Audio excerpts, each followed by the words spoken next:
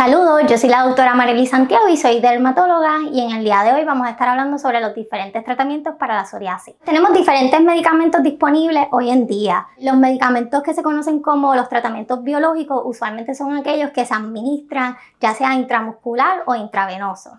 Dentro de ellos existen principalmente cuatro grupos que se caracterizan por su mecanismo de acción. Tenemos los inhibidores de los TN-alfa, que básicamente inhiben esta molécula que se ha visto que está elevada en pacientes de psoriasis, que estimulan a su vez las células que juegan un rol principal en el desarrollo de esta condición.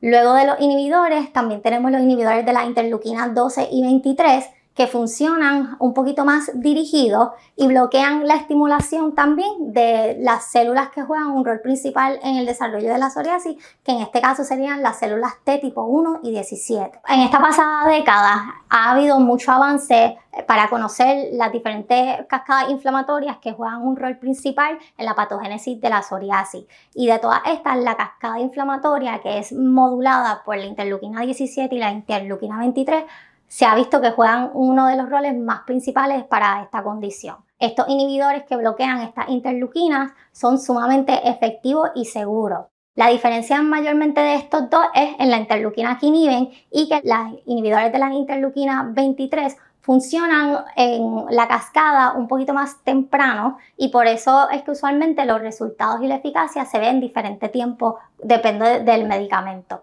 Los beneficios de utilizar estos medicamentos es que Anteriormente, hace menos de 20 años, el nosotros poder decirle a un paciente de psoriasis que habían medicamentos que podían alcanzar una eficacia bastante significativa eran mínimos. Y los biológicos han cambiado mucho el panorama de cómo se maneja la psoriasis.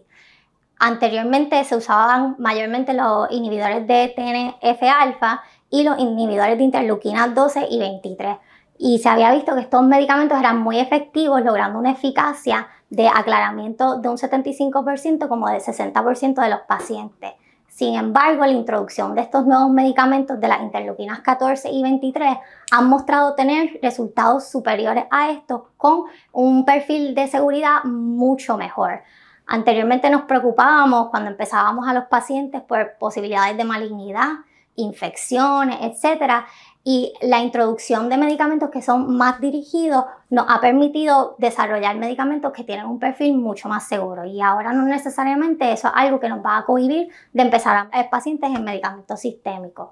Los tratamientos orales la ventaja es aquellos pacientes que no sean candidatos, ya sea por condiciones de comorbilidad o pacientes que desarrollan reacciones inflamatorias a los biológicos, que no es algo tan común, pero pudiera ocurrir, tenemos estas nuevas opciones. Cuando pensamos también en la posibilidad de tener que estar inyectándose cada 3, 4 meses, pues hay obviamente tener una opción terapéutica que sea oral, que además de eso sea también más costo efectiva, porque sabemos que los biológicos son sumamente costosos. Esa es una de las ventajas de estos medicamentos.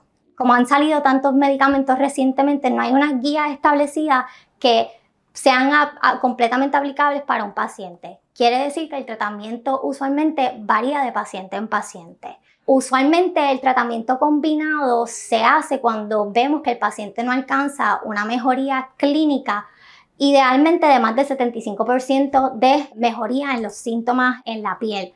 Pero además de eso, ya sabemos que la psoriasis no solamente afecta a la piel y tiene, pues, tiene la posibilidad de tener manifestaciones sistémicas tanto en las coyunturas, se ha visto que también está asociado con enfermedad cardiometabólica, así que el uso de estos biológicos, una de las ventajas también es que ayudan a evitar la progresión de pacientes a desarrollar la artritis psoriática e incluso en pacientes que tengan ambas condiciones, estos biológicos nos ayudan a tratar ambas cosas con el mismo medicamento. La ventaja del uso de los medicamentos biológicos y los medicamentos orales es que anteriormente teníamos muy pocas opciones para tratar a los pacientes que tenían eh, una psoriasis de moderada a severa. Así que estos medicamentos han cambiado el panorama de cómo nosotros tratamos a los pacientes de psoriasis.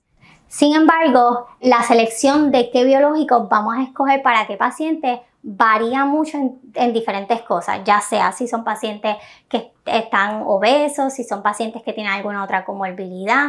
Así que la ventaja del uno al otro, esa es una de las cosas que nosotros miramos.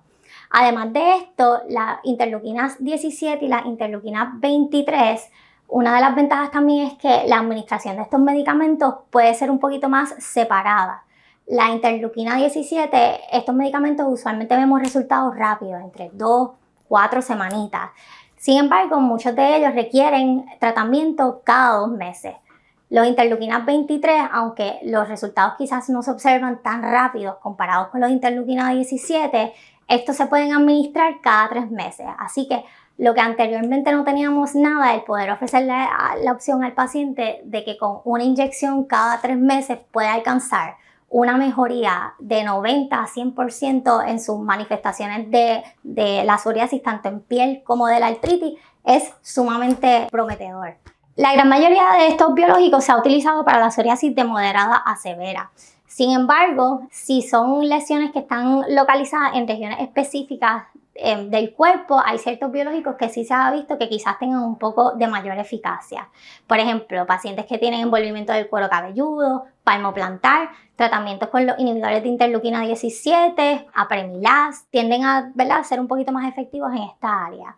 Pero esto hay que cogerlo también con pinzas porque muchos de estos pacientes que tienen envolvimiento en regiones específicas no son incluidos en los estudios clínicos. Así que nos hace falta conocer mucho más sobre la evidencia de la eficacia y seguridad de los pacientes en la clínica real y saber cómo esto varía dependiendo de la localización de las lesiones. Si usted tiene alguna duda y desea saber si es candidato a recibir algún medicamento biológico, visita a su dermatólogo para más información y orientación.